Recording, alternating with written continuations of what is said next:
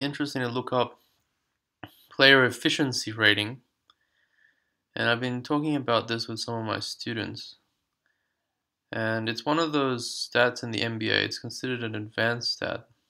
And people use it to sort of sort of gauge who, who the best players, the best basketball players are. Okay, so one of the reasons I was so interested in talking about it is because when you first look at it, um, it can be quite daunting. See, it looks like this mess of formula that only like a real professional mathematician or something can work out. Um, and and then it simplifies to something like this, which doesn't look any simpler. And then there's all these really complicated looking things. And that's only for the unadjusted PER. Oops. That's only for the unadjusted PER with the U here. When you make the player efficiency rating, you have to times it by these things. And so on the face of it, it looks like it's inaccessible. But what I want to do is break it down for you so that so you might not be able to actually perform the calculation by hand, but at least you'll know sort of what it means and you'll you'll understand it to the point where like you can actually know how your plays in the game affect your PER. Okay. So first of all, what this looks like is the whole thing is in these brackets here. This one curly brackets and this other brackets. Okay and whatever it is, it's divided by the number of minutes. so that makes sense because it's trying to say that if you do the same thing with more minutes, you're you're not as efficient as if you did the same thing with less minutes. Okay, so if you could get the same job done in less time, um, that's better. Okay, and you know minutes are not necessarily the true measure of time in basketball. It's more the possessions, and so this this is probably what the adjustment is for the adjustment of the PER, this league pace over team pace thing. But we don't even have to get into that right now. Okay, now let's look inside what, what's inside the brackets, okay? So, so 3P is the number of three-point field goals made by the player. this, I'm assuming, is the number of assists the player makes. This is, I'm assuming, the number of field goals the player makes. This is the number of free throws the player makes. This is the number of turnovers. This is the number of, um, well, maybe it's not so clear what that is right now. And there's some other things which are not so clear. This is um, some offensive rebounds here. you have steals, blocks, personal fouls. So can you see that basically what this takes in? It takes into account your box score stats. So your your basically your points, assists, rebounds, turnovers, steals, blocks, free throws, and stuff. And basically, it adds something every time it's a good thing. See how it's plus three points, plus assists, plus field goals, plus free throws. So it'll add something every time something good happens, and it subtracts it every time something bad happens. So the turnover, so you subtract something for turnovers. Um, so this is something bad. We'll have to figure out what that means. Um, see, you get something for offensive rebounds, and you subtract, you get something for steals and then you get something for blocks, but you subtract for fouls because it's, it's generally not good to foul. Okay, so if you break it down like that, um, it's much simpler, and then it becomes just a matter of how each of those things is valued relative to everything else, right? So here you have to be maybe a little bit careful. But so if you look at it from face value, okay, it looks like three point field goals are made count as one, okay? And it looks like assists count as two thirds, But it's not necessarily the case because we have this complication where field goals field goals actually um, take into account your three point and two point field goals. Okay, so let's let's let's ignore this complicating factor right now to try to explain what's going on. So we don't care about factor times team assist over team field goals. We just care about two times field goals. so that seems to be two seems to come from the fact that most field goals are worth two points, right? but then you have those three points that are that these are only counted as two points.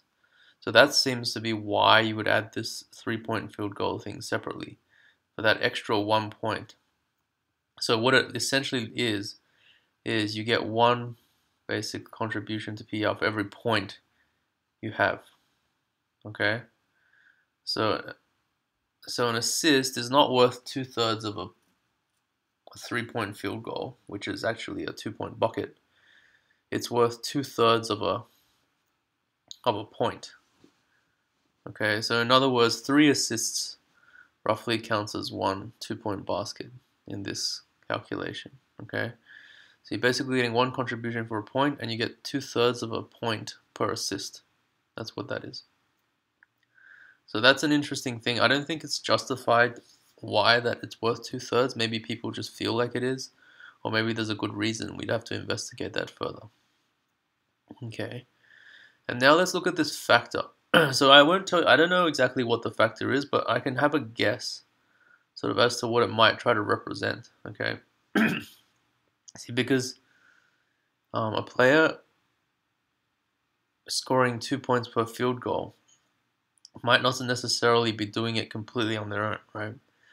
The team might be passing them the ball or being, though the team might be so strong it creates these situations. So it looks like you might not get the full two points. You might have to minus some factor that's related to how many assists that your team gives out on field goals. Okay, so it's kind of if you are unassisted every time, or your team just doesn't have assists, then it should be worth two. And if you're assisted all the time, it might be worth um, quite a bit less than two. Um, and we'd have to unravel this to see exactly what it's worth. But I can't imagine it'd be worth that much less than two because the assist itself is only worth two thirds of a point.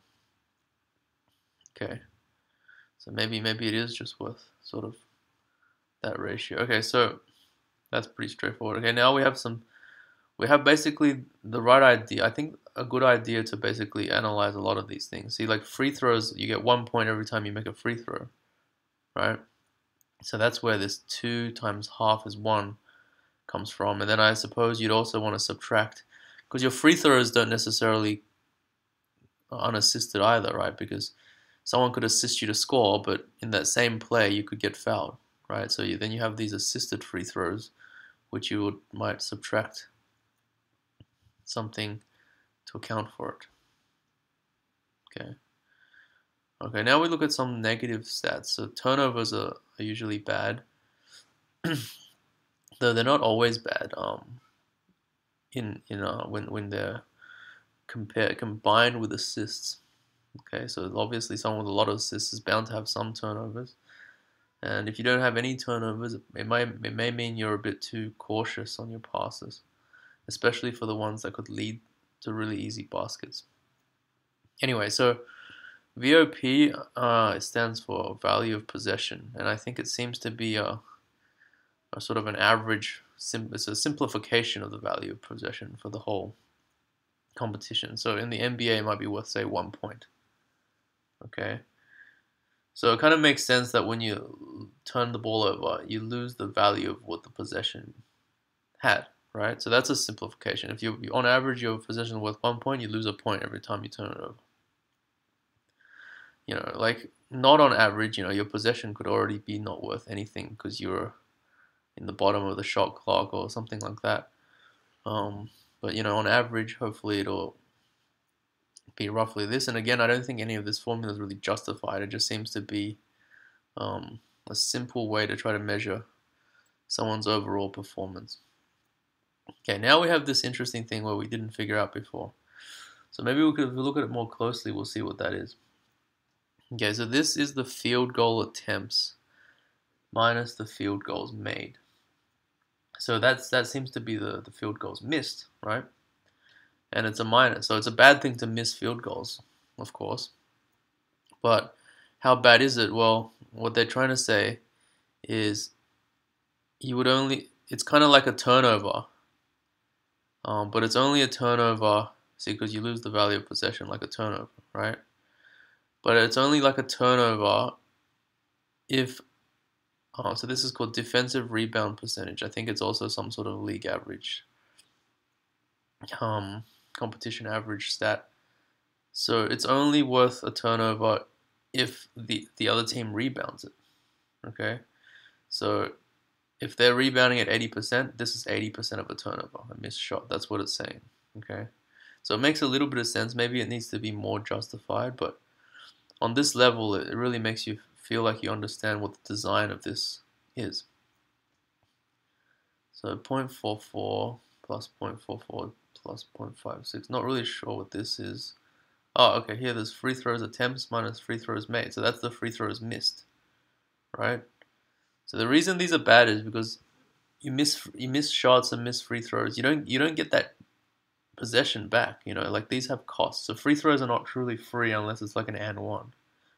Um, so there's really a cost to missing these free throws because you can't take them again and you don't get that possession back. So when you miss a free throw, okay, it's not the same as a turnover.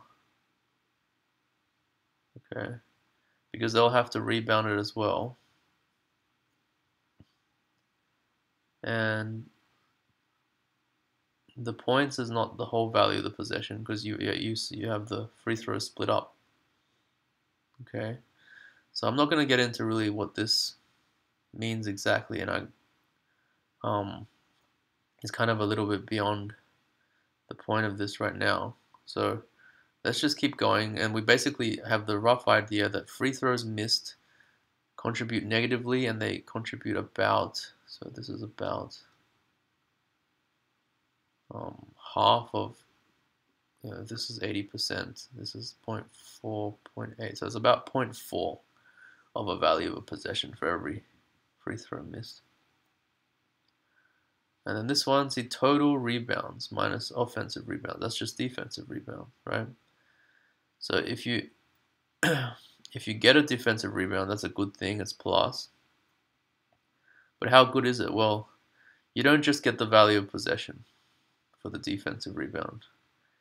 You only get um your the the excess over the the average defensive rebounding percentage. So if you're expected to get 80% of the rebounds or 80% of that rebound anyway, when you get it, you only get credit for 0.2 of it. Okay, that's what that's saying. And whether that makes sense or not, I guess we're not really going into it too deeply, but this is just to sort of have a good idea of what all these things are doing. Offensive rebounds, when you get that, um, basically I feel like it's timesing by defensive rebound percentage because you're taking away their defensive rebound, right? So that's worth whatever they were entitled to, like 80% of a rebound, and obviously the value of the possession back. Okay. Again, steals are good, and steals you don't rely on any rebounds. Once you got the steal, you have possession. So you took away their value of possession and gave it to yourself. So that's plus value of possession. And blocks, well, it's the same kind of thing, right? blocks are like a steal, but you're not guaranteed the ball unless you actually get the rebound too. That's why it's a defensive rebound percentage right there. And then there's this complicated looking thing with personal fouls. So fouls are obviously bad, but but fouls are not necessarily bad in all situations because, um, kind of like Hack-a-Shaq, fouls can be good. Um, and so it depends on how often people are expected to make their free throws. See, those free throws. So to work out exactly what the contribution is, you might have to look up these stats, but roughly the fouls are only as bad as how good other players make their free throws on average, uh, according to this stat. It's not individual basis. It's always league average. Okay, so once you've got all that, you go down here. So I guess this is what accounts for minutes into possessions. The pace is the possessions per game or something like that. And then there's some sort of normalizing to make 15 a, a an average PER for your league or something like that. But as you can see, it's not that important sort of what each of the individual numbers is more important sort of to understand how your stats contribute to your PER and you know and to basically not get too intimidated by lots of expressions. It's really a very um, simple meaning thing. And you know when it simplifies, it looks like that, which now becomes sort of meaningless. Okay, because it doesn't have the intention there, but it may be easier to do calculations because you don't have the repeated field goals thing repeated so many times. It would just simplify out. You'd collect the like terms and this would become a bit more maths. Okay, I hope that um, you gain something out of that. Um, if you're interested, please tell me that you are and I'll do more things like this. Because I do find this is very interesting and um, educational. Okay, because it's something that looks very uh, daunting, but it's in fact rather simple.